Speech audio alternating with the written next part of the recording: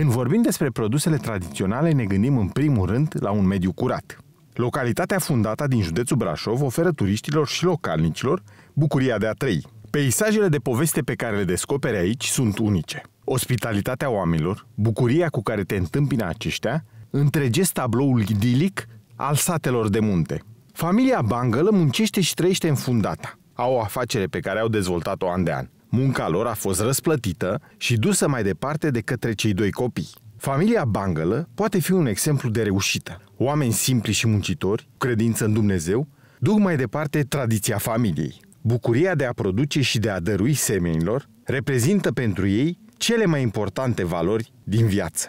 Mergeam înainte la, la târguri pe la București și este concurență foarte mare și să faci un produs bun și să mergi la București să concurezi cu produse care nu sunt de bună calitate, ne-a retras, cred că, de cel puțin 10 uh, ani.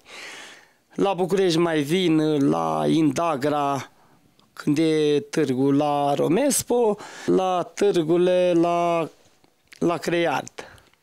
Bun, uh, suntem aici într-o cameră cu frig, uh, așa prevede legea, dumneavoastră v-ați conformat și adăpostiți produsele pe care le obțineți în locul ăsta. Ce produse aveți, domnul Bangălă? Pentru că dacă stai să le privești, le spun sincer telespectatorilor că e greu să te abții să nu, nu le și guști. Ce aveți dumneavoastră aici în uh, camera asta? Ce, ce le oferiți consumatorilor? Pentru că vorbim de produse de calitate, produse, uh, unele dintre ele bio, eco. Acum sunt produse mai puține. Ce facem acum pe de iarnă? Brânză de burduf, telemea proaspătă de vacă și ce avem pe stoc? Telemea veche de oaie și la cerință, caș afumat, caș caval și produse mai facem cu condimente, la cerință, cu chimăn, cu piper, cu ardei. De unde ați descoperit rețetele astea? Cine vi le-a... Uh, cine v-a învățat, cine v-a sugerat să faceți astfel de, de rețete? Am fost uh, plecat în Franța și în Italia și francezii că are 400 și ceva de produse atestate. Și prima dată ce am făcut urda cu mărar, brânză de burduc cu chimăn și cu busuioc și am văzut că na, la București mergea, dar în zonă la noi nu știe omul și nu se caută. Dar la București, cât de cât... Uh, în marile orașe. Da, general. da, și la Brașov, și la București, cât de cât acestea cu condimente s-a căutat. Spuneați dumneavoastră că e greu să îi faci pe consumator să înțeleagă sau mai bine zis să accepte diferența dintre un producător uh, adevărat, autentic și un uh, fals producător pentru că se întâmplă din păcate de multe ori să apară confuzia asta. E o confuzie care încă vă dă mari bătăi de cap și nu e din vina producătorilor, este din vina celor care nu au reglementat foarte clar lucrul ăsta și permit uh, unora sau altora să stea în același rând cu dumneavoastră și să vândă produse îndoielnice. Vorbeam despre rețetele astea pe care le-ați uh, preluat, pe unele le-ați creat uh, dumneavoastră. N-a fost simplu, dar privind peisajul pe care îl aveți aici la Fundata în Brașov, de un lucru pot fi convinși cei care urmăresc emisiunea noastră că sunt produse sănătoase sunt uh, foarte sănătoase și până la urmă în zona noastră sunt uh, și bio. Și una la mână le-am și atestat și cum a zis neasă că unde le desfacem, uh, de asta mergeam înainte la București și mai ales că le-am atestat, Adică vindem cod la cod și cu cel care cumpără, nu știu, de la Antefrix sau nu știu de unde și poate vinde mai bine că lasă un leu sau doi lei mai ieftin și ne concurăm cu cine. Și de asta n-am mai mers nici la București și mai bine mi-am făcut client și vând de acasă. Că vând mai puțin, dar cât de cât ne descurcăm. Ce trebuie să înțeleagă cei care vor să cumpere? Că un uh, astfel de produs se obține cu foarte multă muncă, dar și cu o investiție pe măsură, pentru că nu poți să faci uh, o brânză de burduf uh, dacă folosești o cantitate insuficientă de lapte sau dacă folosești alte și alte produse, mă rog, sunt multe exponate pe care le aveți dumneavoastră aici, multe specialități.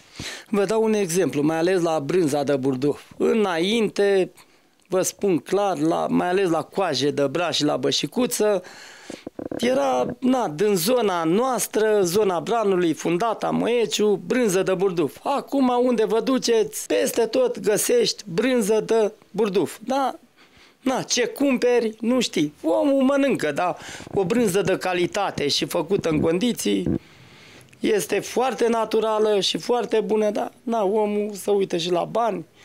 Și nu este să zici scumpă. Brânză de burduf uh, o vindeam acum 10 sau 15 ani cu 35 de lei, acum o dai cu 25-30 maxim. Dumneavoastră aveți și o pensiune aici unde mai vin uh, turiști. Sunt uh, convins că ei apreciază produsele pe care li le oferiți și ăsta nu e un lucru de neglijat, dar trebuie să le spunem celor care urmăresc emisiunea că nu lucrați singur aici, e o afacere de familie, vă ajută și copiii, vă ajută și soția și e o muncă pe care o faceți în echipă.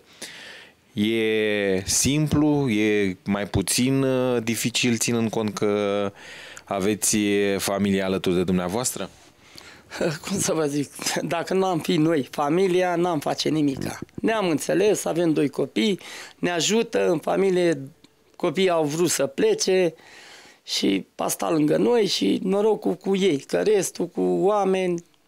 E greu de găsit oameni muncitori? Foarte greu. În ziua da să mai găsești oameni la așa ceva, niciodată. La animale este foarte greu să mai găsești.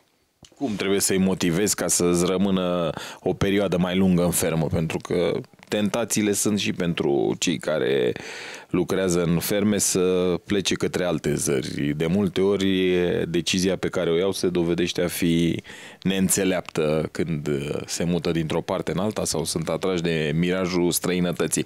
Dumneavoastră aveți câți oameni cu care lucrați și cum îi fidelizați? La ora actuală am șapte oameni. Trei la oi și patru la, la vaci. Da. Ce efectiv aveți de animale? Pentru că e important să le spunem celor de acasă. 70 de vaci și 25 de vițăi și 500 de oi. Oi țurcană? Uh, țurcană, da. Vorbeam despre faptul că vă ajutați cu, cu familia. O aveți pe fata dumneavoastră. Ce vârstă ai? 24 de ani. Bună ziua! Mulți înainte. Știu că e studentă, nu? Ai terminat, de fapt, da. facultatea. Acum urmezi un, un master. Uh, ce facultate ai făcut și la ce, la ce urmezi masterul? Am terminat facultatea în Brașov, alimentație și turism și masterul o să adică îl fac, sunt anul 2, uh, tot procesare. Spune-ne dacă a fost o decizie grea pentru tine să te alături părinților să muncești aici în fermă, pentru că nu e simplu să lucrezi într-o astfel de fermă. Cine crede că sunt uh, foarte multe beneficii se înșeală. E o muncă grea, e o muncă zilnică, susținută, pentru că vorbim de un sector dificil, sectorul zootehnic nu a fost greu și noi am fost de mici crescuți cu ideea să iubim animalele, din asta trăim, părinții noștri și bunicii și străbunicii din asta a trăit. Noi am fost învățați cu ideea în felul următor. Trebuie să facem brânză, brânză care dacă tu nu o mănânci, nu o dai nici la client, la cumpărător, cine ar fi, la musafir, că să mai aud discuții că brănenii vând trei tipuri de brânză sau au trei tipuri pentru ei, pentru neamuri și pentru lumea de Asta e, na, multe să spun despre brăneni. la noi e în felul următor. Noi am fost crescuți într-un fel anume. să iubim animalele, Acum, cât, câți au înțeles dintre noi. Ne-am rămas alături de ei cu gândul în felul următor. Dacă ei pot munci, putem și noi. Dacă noi plecăm, ei nu mai pot. Uh, nu pot să spun că nu le-am spus să micșorăm efectivul de animale. În fiecare an le spun chestia asta. Uh, hai să micșorăm. Avem 70. Hai la anul să ținem 50. Da, corect. am micșorat efectivul de capete mari, am tăiat în vas sau am vândut, am ajuns la 50, dar au păstrat viței. deci tot acolo am ajuns. Dar uh, muncim cu drag. Uh, facultatea m-a ajutat foarte mult, m-a ajutat și faptul că este foarte aproape, la 50 de kilometri și am făcut naveta, nu mă puteam duce la București, Galați. Uh, toate sfaturile profesorilor și faptul că i-am întrebat mm, ce aveam eu nevoie și licența am făcut-o la îndrumarea profesorilor mei cașcaval cu, cu ciuperci, uh, cașcaval cu chimen, mai multe sortimente, la caietele de sarcină pentru atestarea produselor, le-am lucrat acasă cu ajutorul lor, m-a ajutat foarte mult. Deci m-a ajutat mult și practica de acasă și teoria de la facultate, le-am cam unit. Te gândești la un proiect uh, de ăsta prin uh, PNDR, la un, să accesezi un fond european? Uh, noi plece, plecăm de la început cu stângul. Adică suntem mai prăpăstioși. Prefer... încrezători. Da. Uh, fratele meu a făcut un proiect. Uh, avem un tractor uh, luat pe fonduri uh, și nu a fost foarte ușor. Sincer, dacă am fi muncit 3-4 ani și am fi pus ceva deoparte, l-am fi luat fără bătaie de cap. Pentru că, știți cum, controlele care vin Uh, poate nu sunt foarte bine pregătite. Uh, nu vreau să mă înțeleagă cineva greșit, dar uh, oile erau în timpul fătatului și noi am avut undeva la 5 controle într-un an. Să iei fiecare oaie la mână, nu aveam nimic de ascuns. Puteau să vorbească între ei, băi, a fost control de la Alba Iulia, de la București. Hai să-i întrebăm, să ne... Nu, ei veneau de la început control. Și am avut un pic de pierdut în faptul că ia oaia, mută oaia, vezi, nu e asta, nu. Poate am avut două uh, care nu le-am văzut dintr-un efectiv de 500. Deci, dar piedici și de-aia v-am spus, uh, noi plecăm uh, prăpăstioși pentru că am dat uh, cu capul de grindă, să spun așa, și, sincer, prefer să adunăm Că la noi nu vine, nu pică la nicăieri din cer. Muncim până noaptea târziu, că mai zice, aia avem, avem că muncim. nu să face nimic pe gratis. Ne-am cam învățat să avem noi, să adunăm și să facem cu cei al nostru. Care e rolul tău aici în uh, cadrul fermei? Ce faci tu exact? În primul rând să-mi susțin părinții. nu mai moral, ci și pui mâna la treabă, am văzut. Da, păi eu facem orice. La noi nu e treaba împărțită, tata merge la vaci, eu uh, spăl sau... Nu, deci dacă este azi de brânză, facem brânză de burduf toți. Dacă e mâine de făcut cașcaval, face... să unește, treburile să... Merg și la piață, merg și la facultate, trebuie să fac la comun. Și toți facem de toate, nu e să fie cineva împărțit cu treaba lui. Dacă e să duc mâncare la fermă, o duc. Dacă am mulți, am mulți și vaci, le-am plecat la facultate că e o poveste care prietenii apropiați și colegii de facultate o știu. Deci cât te-ai spăla, mirosul de animal rămâne sau poate rămâne în conștientul nostru. Mergeam la facultate dimineața după ce am vă dați seama, dă cu clor, dă cu orice. Nu e așa. Și când ajungeam la școală și țineam pixul mai aproape de, de față, îți venea cât un miros și am zis, băi, eu nu mai stau, plecă. Dacă simt eu, simte și cel de lângă mine. Te-ai gândit să renunțe? Ți-a trecut și gândul ăsta prin minte să îți găsești poate o altă afacere, o altă profesie și să lași zootehnia, să lași business-ul ăsta în agricultură? Da, m-am gândit să plec, dar în, Uh, nu pentru binele meu, m-am gândit să plec pentru binele lor, pentru că familia mea niciodată nu o să se oprească. Deci probabil noi o să ne oprim din uh, crescutul efectivul, efectivului de animale în momentul când unul de noi pică. Ca așa am învățat, noi ne ajutăm și tragem de noi cât putem. Și am zis, băi, eu plec și mă angajez. Pleacă și fratele meu și văd că nu mai pot. Și în momentul ăla când nu mai ai cu cine, nu angajă, ce să facă? Fiind efectiv, o să râdă, că la noi e și cu râsul lumea. Râde lumea, așa e, gata, s-a calmat. Îi ajutăm cu ce o putea. Poate eu nu aș pleca. Să nu mă... Deci aș vrea să mă angajez doar pentru faptul că lucrez la program. Păi am 8 ore, vin acasă, fac nevoile mele. Aici să muncește, poate astăm, dar mâine lucrăm și la noapte ca să recuperezi. Și de-aia m-am gândit să mă angajez, dar nu m-aș angaja de dragul de... Cu toate că am terminat șase ani de facultate, imediat o să termin șase ani de facultate, nu, nu aș pleca. Îmi place ceea ce fac și o fac din tot sufletul. Frumos, foarte frumos uh, spus. Revenind la domnul Bangălă, Știu că îmi spunea un pic mai devreme faptul că în 35 de ani de activitate n-ați avut concediu până acum. Acum vă permiteți câteva zile, mergeți la Mormântul Sfânt. N-am avut concediu nicio zi. și ne-am hotărât uh, să plecăm la Mormântul Sfânt uh, miercuri, săptămâna ce vine. Da, dar măr... O săptămână. O săptămână și mărturiseați în uh, mașină că deja v-au luat gândurile, vă tot gândiți cum să faceți, ce se întâmplă cu ferma perioada asta în care lipsiți. De o săptămână sau de două săptămâni sunt îngrijorat că îmi fac probleme. că na, plec o săptămână, de multe ori poate am fost plecat o zi, nu m-am dus și a devenit uh, probleme și mai ales acum o săptămână știe că sunt plecat, bă, da, seama. Sunt, este problema cu alcoolul. Sunt mulți Problema care... celor care lucrează da, aici. Angajații de îi avem și na, rămân copiii acasă, dar până la urmă nu fac problemă că copiii... Știu mersul acum. Da, este puterea noastră și merge, mergem înainte. Stăm de vorbă cu Mădălin Bangăl, fiul domnului Gheorghe. În primul și în primul rând uh, vreau să te felicit pentru faptul că ai ales să fii fermier, pentru faptul că muncești aici alături de părinții tăi. Spunem dacă a fost o decizie grea sau o decizie ușoară să rămâi aici în, uh, în fermă, la fundata și să muncești alături de sora ta și de părinții tăi.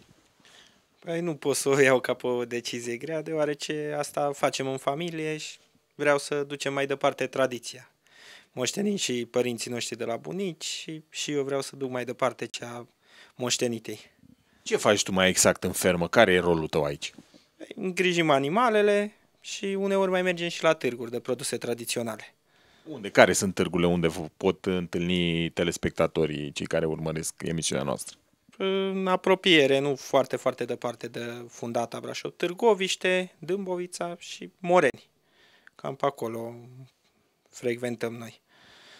E o meserie destul de grea, destul de obositoare, nu sunt niște câștiguri foarte mari dacă stăm să privim uh, în comparație cu alte activități ceea ce faceți. Te-ai gândit uh, să renunți la această activitate, să faci o altă afacere, să poate să te angajezi într-o altă, într-o altă zonă?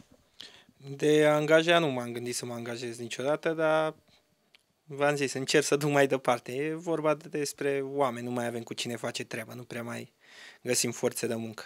Adică în orice domeniu, nu doar la noi. Bănuiesc că asta e problema care se confruntă toți, dar cercăm să mergem mai departe. Te-a tentat să pleci în străinătate pentru că sunt mulți tineri care caută un viitor mai bun acolo. Nu, chiar nu m-a tentat niciodată. Având meseria asta și ocupându-mă de mic cu părinții împreună, n-am fost nevoit să încerc să plec în afară. Ce studii ai? Liceul. Liceu agricol? Nu, liceu informatică și turism am făcut la vremea respectivă. Mădălin, dăm voie să te felicit, să îmi declar uh, satisfacția prin uh, prisma faptului că sunteți mulți tineri care îmbrățișați profesia asta de fermier și v-ați alăturat familiei în a duce mai departe o tradiție frumoasă. Când ne-am născut noi, erau două, trei tipuri de produse. Brânza de burduf, telemeaua, urda. Pe urmă s-au făcut și cașof mat, și cașcavalul, și cașcavalul cu chimă, cu condimente, și brânzica. Cu... Adică am încercat, când mergem la piață, că dacă tot mergem și o desfacem noi sau vin cineva la noi, să avem mai multe sortimente de produse, ca să fie o, o gamă mai variată de produse, cu gusturi diferite, pentru orice sector de oameni. Sunteți membri ai Federației Naționale a Producătorilor de Produse Tradiționale. A fost o decizie dificilă să intrați într-o astfel de formă de organizare, să deveniți producători tradiționali? Noi nu am avut uh, niciun cuvânt de spus ca Uh, persoană fizică. Și uh, ne-a explicat că trebuie să facem o asociație ca să fim mai mult, să ne spunem ofurile, să ne spunem uh, ce ne apasă, cu ce ne confruntăm.